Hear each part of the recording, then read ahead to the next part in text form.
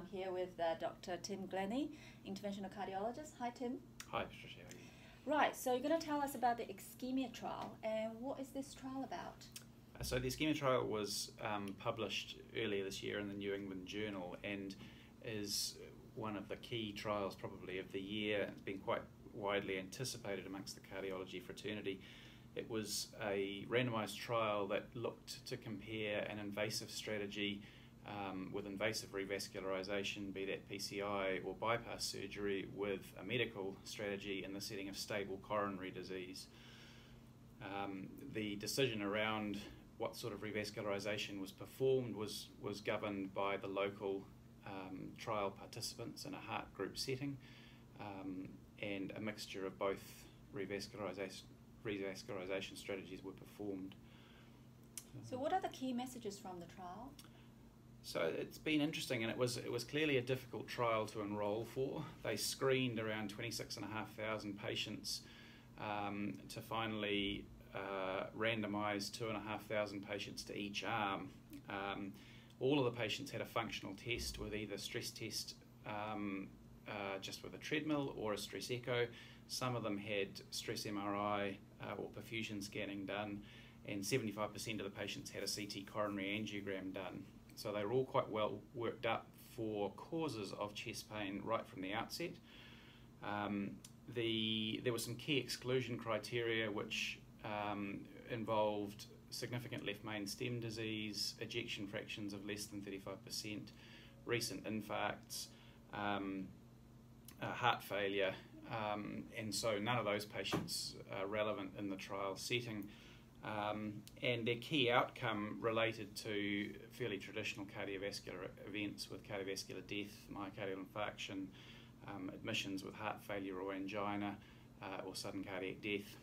Um, and the, the key message from the trial, really, um, despite the fact there are limitations, which we'll talk about in a minute, was the fact that there isn't really a difference between an early invasive strategy and a conservative medical strategy in this group of patients. Um, there were slightly more procedural myocardial infarctions in the invasive group, um, but there were also more traditional myocardial infarctions in the conservatively managed group. Uh, and the interesting thing is, is how the curves were separating towards the end of the trial period.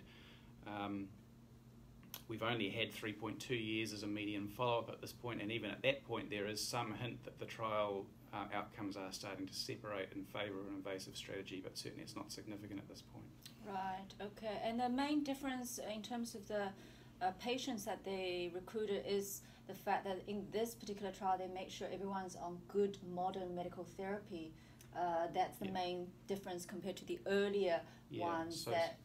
So certainly that's right, and so certainly they were all on good doses of um, statin, aspirin, um, smatterings of beta blockade and ACE inhibition um, and they were well matched between the groups. So certainly you could not say that these patients weren't appropriately medically treated in right. either arm. Okay, yeah. and, and just to uh, re-emphasize it, Tim mentioned in the ex exclusion criteria, uh, the patients with uh, important left main disease and uh, significant impaired LV function, they were excluded from the trial. In other words, people with severe, moderate to severe ischemic cardiomyopathy, they're not really in the in the trial. That's right, and and I think the other thing to remember is that the patients were all given appropriate diagnostic workup mm. prior to the decision about treatment. So these patients weren't um, assumed to have coronary artery disease. They were tested for coronary artery disease, and once that diagnosis was made and obviously the key exclusions avoided, then they were randomised. So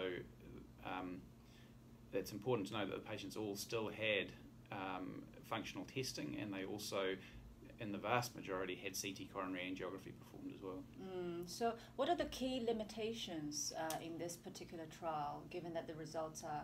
At the end, it's a negative trial. Yeah. So one of the one of the key things really is about the powering of the trial. As I mentioned, they had quite a problem with enrolment and um, you can see from the number of patients that they screened to the ones that they actually enrolled, there's been a massive dropout. Um, and that always is somewhat concerning. The power calculations um, before they started the trial obviously make certain assumptions about event rates, and in actual fact, the event rates were very low. and so the trial is going to be underpowered. And on top of that, we, we didn't recruit as many patients as we wanted, so we're still underpowered. Um, so that, that is a real concern. Um, the other thing is that, as I mentioned before, that the follow-up so far is actually relatively short, with a median of only 3.2 years. So mm-hmm. Whether this, in, um, over the course of time, is actually going to pan out to be um, a different result is yet to be seen. Um, okay, and how does that relate to our current practice? So I think you know in New Zealand we're in a fortunate position where the majority of patients um, get good good medical therapy, um, and we we don't see a lot of inappropriate um, investigation or procedural um, uh, things undertaken. So I think this augments our practice by reaffirming that it, that we are um, in, in a good position to manage patients medically once we know what their functional status and once we once we know what their ventricular function and their coronary anatomy is. Um, but you know, I think the the um, key thing for us is to make sure that we do investigate patients with chest pain appropriately, so that we know what we're dealing with from the outset, so we can make informed decisions about uh, which arm of the of the proposed treatment strategies the patients go down. Right. Okay. Thank you very much, Tim. All right. All right.